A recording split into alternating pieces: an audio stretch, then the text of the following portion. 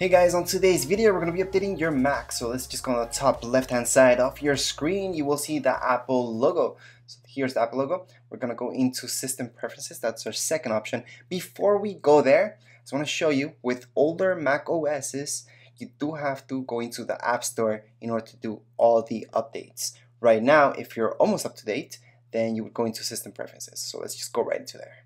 Once we click on System Preferences, you will see Software Update, which is our third option down here below. So here on the left, we will see Software Update. Let's just click on there. And we're gonna get this window. Let's just click on More Info. And we can see that it's 2.97 gigs. For most of you, this will only take a couple minutes. However, if you have really slow internet, sure, this could take a long time 30 even an hour depending how slow your internet is and it does require a restart.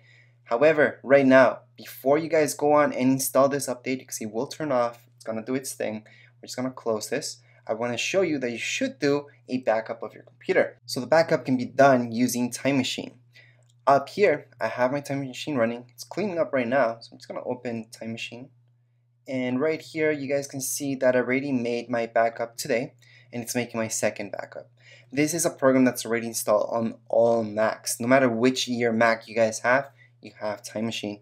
So if you guys purchase already an external hard drive, make that backup there. Of course, that's only if you care about your information in your Mac. If you don't really care, no need to back up anything. Want to mention that I do have a separate video showing you guys how to set up Time Machine and everything about it. At this point, I'm just gonna go back and right here, I'm gonna click on more info again and we can see install now or without seeing that, you guys can go ahead and just press on update now.